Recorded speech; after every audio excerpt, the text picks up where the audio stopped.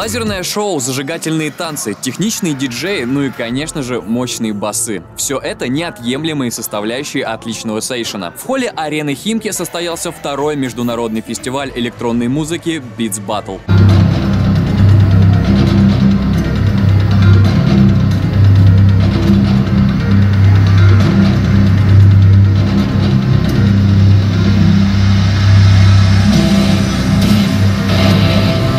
Рамках фестиваля проходил конкурс, в котором жюри выбирали лучшие треки и ремиксы. В этом году появилась новая номинация «Лучшая коммерческая композиция». Заместитель главы администрации городского округа Химки по вопросам социальной политики, культуры и спорта Ирина Теслева на сцене вручила грамоты и подарки победителям.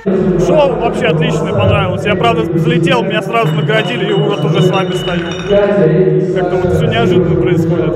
Я считаю, что странах, СНГ странах, стоит проводить, э, развивать молодежь в этом плане, развивать вообще музыку, электронную музыку, так как у нас э, в, каждом, в каждых наушниках, в каждых колонках эта электронная музыка играет. Beats Battle привлек как рядового слушателя, так и известных блогеров. Количество подписчиков Николая Пака в ТикТоке перевалило за 350 тысяч. Говорит, не смог обойти стороной такое событие. Не, здесь на самом деле очень круто. А, во-первых, это фестиваль электронной музыки, а как мы знаем, то, что в современном мире, в современной музыке а, почти вся музыка электронная, да?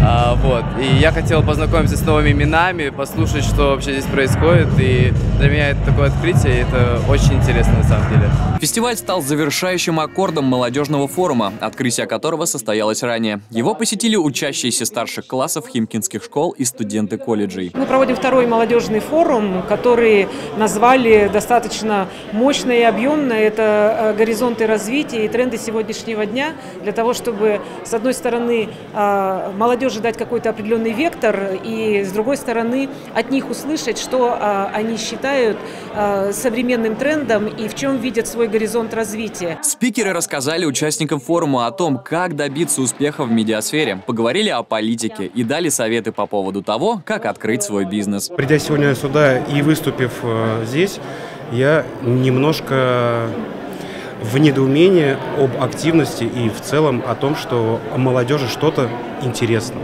Потому что сейчас это редкость, и если в Химках молодежь активная, то все в Химках будет хорошо. Организаторы отметили, что благодаря таким мероприятиям у химкинской молодежи появилась возможность обрести новые знакомства, создать интересные проекты или определиться с выбором будущей профессии. Ведь именно эти люди будут формировать главную повестку завтрашнего дня. up.